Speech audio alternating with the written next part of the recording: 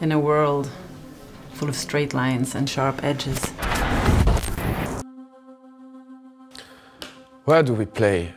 Communication is such a powerful tool.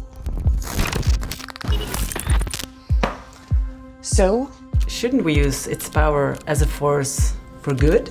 For good? Moving forward, should it be about the loudest, loudest voice? Or the most attentive ear? Do we use our creativity to please our ego? Or as a tool to drive meaningful change? Do we grind to get the job done? Or collaborate as trusted partners? To truly engage, do we just craft buzzwords?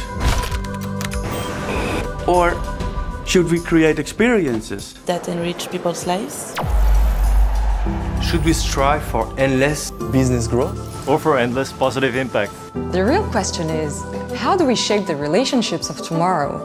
In a world full of straight lines and sharp edges, we are oval. We are oval. We are oval. We are oval.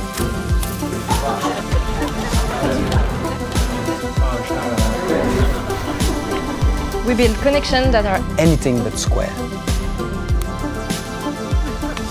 By bringing people closer together. Reconnect. For real.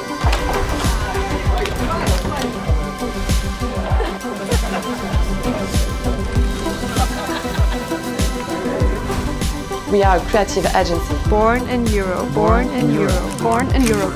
And our creativity crosses borders. And bridges gaps.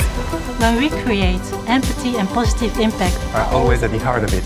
Building a better future, or at least we try. By turning communication into impactful brand experiences. So, So, for real, how will you connect tomorrow?